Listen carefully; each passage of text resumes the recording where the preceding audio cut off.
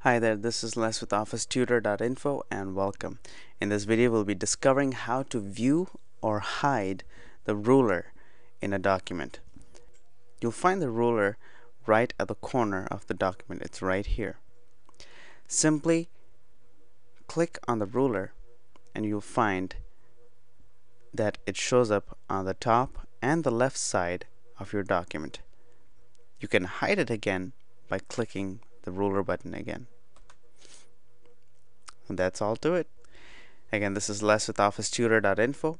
If you have any questions or comments, please feel free to send us a message through our website www.officetutor.info.